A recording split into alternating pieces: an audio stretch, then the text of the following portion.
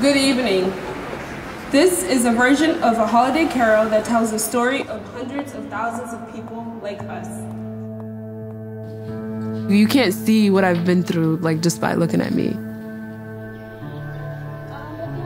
I grew up in the refugee camp. And so when I see those images, I think about how, like, like my life could have ended. Back where I used to live in Iraq, I just wonder like why it was all ripped away from me.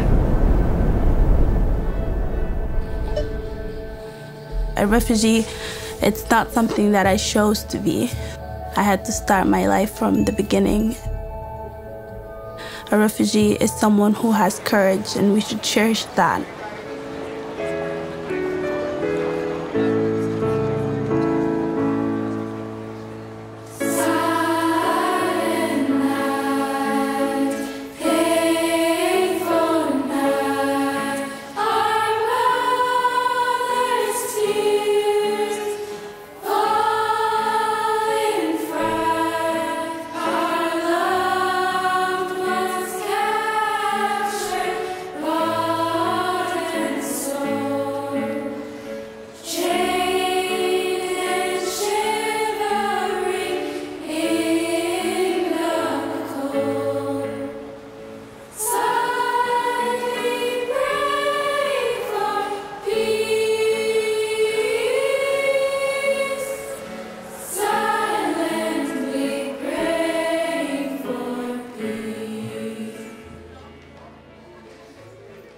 Many people who have stayed back have died.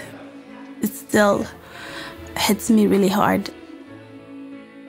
I lost so many siblings. They passed away from like basic living conditions. Without the UN, I think my family would still be in that refugee camp. I guess like when people first come here, they assume that like we're gonna bring terrible stuff. Kind of a stereotype at this point. If everyone would ever think that, I don't think you've ever met one that like came here with like struggles, one that came here with like a drive to like make sure their kids are safe, to make sure they work hard in this country. And uh, yeah, I don't think they know that.